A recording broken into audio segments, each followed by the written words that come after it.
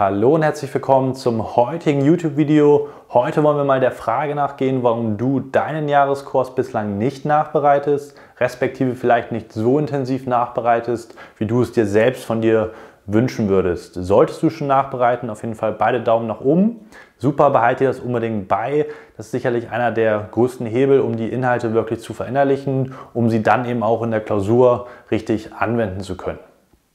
Den Grund, den ich euch heute vorstellen möchte, ist aus meiner Sicht einer der Hauptgründe dafür, dass du eben nicht in die Nachbereitung kommst, neben der hohen Arbeitsbelastung sicherlich. Schauen wir mal, was ich hier am Whiteboard vorbereitet habe. Viel Spaß mit dem heutigen Video. So, schauen wir uns das Ganze näher an. Und zwar habe ich hier schon mal so einen klassischen äh, Kursverlauf angezeichnet. Das heißt, wir haben den Samstag, wo du deinen Kurs hast und die verschiedenen Themen, meistens über so roundabout acht Stunden am Samstag durchgehst, respektive ihr im Unterricht dann behandelt. Und jetzt haben wir sozusagen die Vorwoche hier auf der linken Seite und die Woche danach. Die Woche danach ist klassischerweise dafür gedacht, eigentlich nachzubereiten. Jetzt ist es so, dass die meisten, je nachdem wie frisch du in dem Thema drin bist, wie viel Vorwissen du mitbringst, ich sag mal, relativ viele Dinge nicht sofort auf Anhieb verstehst, weil das Tempo in den Kursen meistens auch sehr, sehr hoch ist, je nachdem, um welchen Themenbereich es sich gerade handelt und wie gut du eben aufgrund deiner Vorbildung, deines Vorwissens dort vorbereitet bist.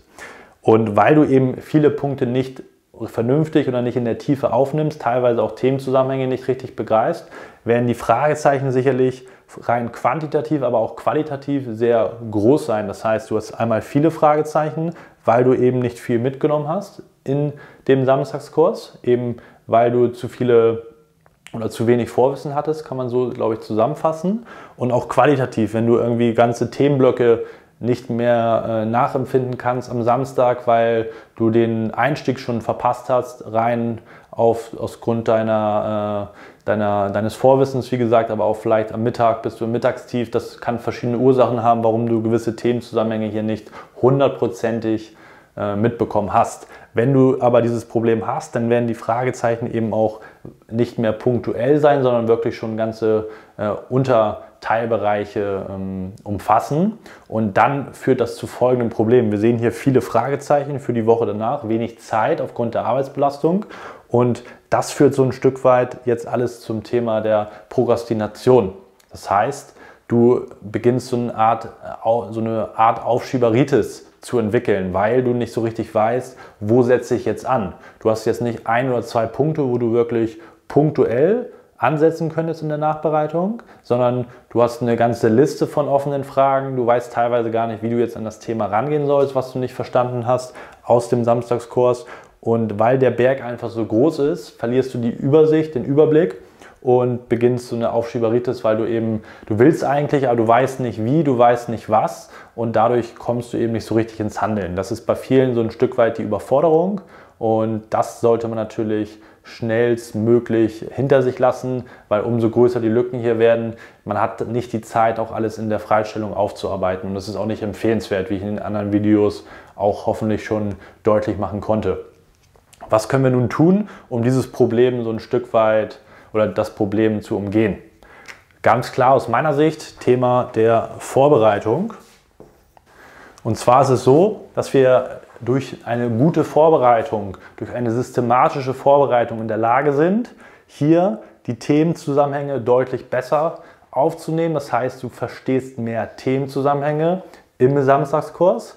Du hast weniger Fragen, du kannst dir die Fragen aber auch besser beantworten, weil du sozusagen ein anderes Fundament mitbringst dann im Rahmen der Nachbereitung, weil du dich hier schon mit beschäftigt hast, einen Überblick gewinnst, dann sozusagen die inhaltlichen Punkte andocken kannst und nicht so wie ein Sieb bist, wo alles durchläuft, weil du es zum ersten Mal hörst.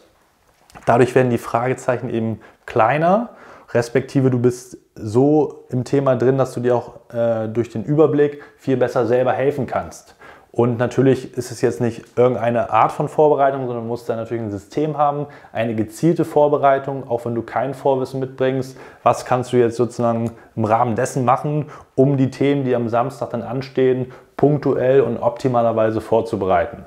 Und genau so ein System ist natürlich auch empfehlenswert für die Nachbereitung, dass du nicht erst lange überlegen musst, wie mache ich jetzt das, welches Thema behandle ich wie, sondern dass du natürlich da eine Struktur für dich hast, und genau weiß, okay, das Problem löse ich so und das Problem löse ich so. Das heißt, eine systematische Vorbereitung, eine systematische Nachbereitung und das verhindert eben dann aus meiner Sicht größtenteils diesen Reflex des Aufschiebens, weil du nicht mehr in der Überforderung drin bist, sondern ein Fahrwasser hast, Rückenwind und genau weißt, wie du die Probleme angehen möchtest. Es liegt sicherlich nicht an deiner Motivation, sondern leichter gesagt eben an diesen, in dieser stückweisen Überforderung, weil das teilweise je nach Fach, je nach Tempo sehr schwierig und anspruchsvoll ist. Das ist ja auch kein, ähm, keine Sache, die man sich jetzt nicht eingestehen mag, sondern das ist bei vielen einfach der Fakt, dass das Tempo teilweise eben zu hoch ist im Samstagskurs und dann muss man eben durch einen systematischen Ansatz eben in der Vorbereitung und in der Nachbereitung dem entgegnen, damit man diese Lücken hier nicht aufbaut, sondern dass du die Themen wirklich Stück für Stück verinnerlichst. Dann bringen dir auch deine Klausuren natürlich was, weil du mit dem Thema arbeiten kannst und eben nicht den Berg, wie ich immer so schön sage, noch größer werden lässt. Ich hoffe, dass dieser Tipp dir weiterhilft. Solltest du Fragen haben, insbesondere zur systematischen Vorbereitung, wie geht man das konkret an, um sich eben gezielt auf die einzelnen Themen vorzubereiten, aber auch wie man sozusagen die Fragezeichen hier schon am Samstag klar identifizieren kann und dann ein System findet, wie man die Stück für Stück abarbeitet und gezielt angeht im Rahmen der Nachbereitung, dann melde dich gerne bei uns oder schreib eine Frage in die Kommentare. Ich versuche da immer möglichst zeitnah zu antworten. Ansonsten freue ich mich, dass du wieder mit dabei gewesen bist. Wir sehen uns im nächsten Video. Vielen Dank, dein Malo.